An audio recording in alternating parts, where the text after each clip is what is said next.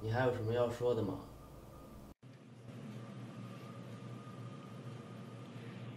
我一直都没有家，偷东西。都是晚上才会去，白天我就在那条街上。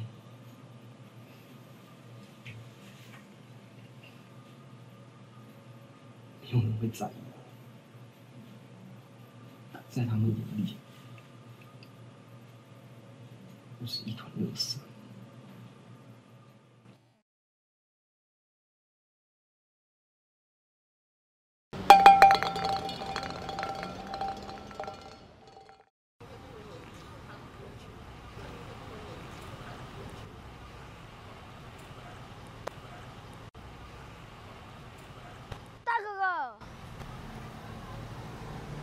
不要和那个人说话。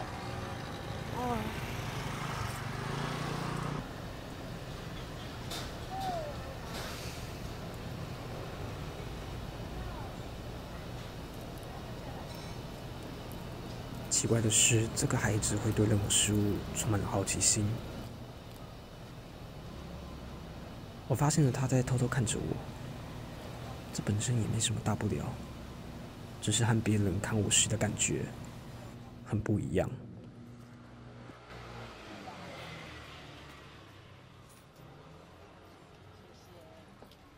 走了。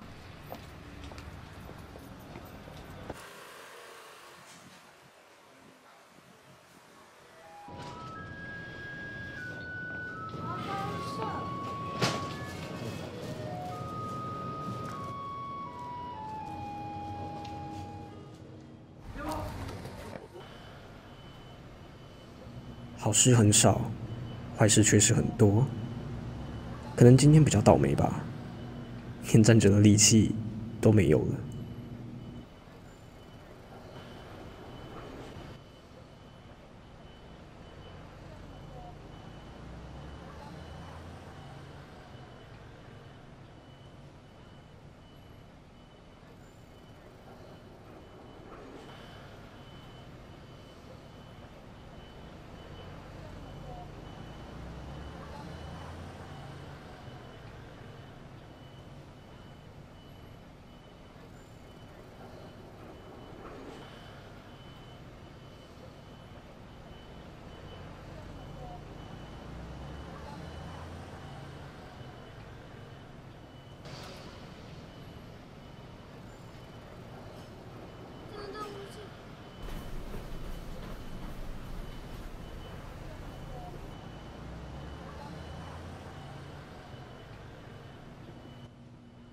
所有不良的情绪我都能够无视，可偏偏它带来的好奇和关切，让我觉得不知所措。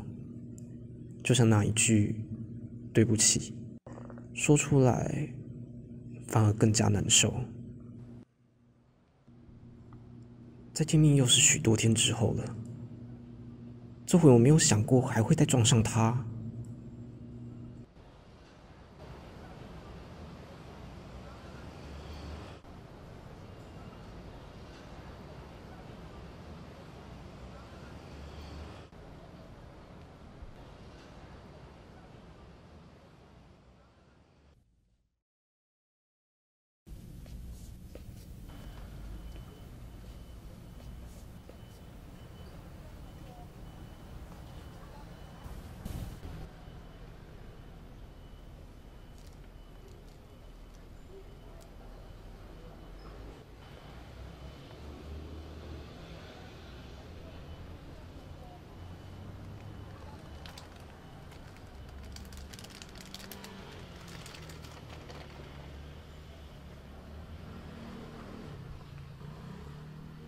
大哥哥，喂，干嘛呢？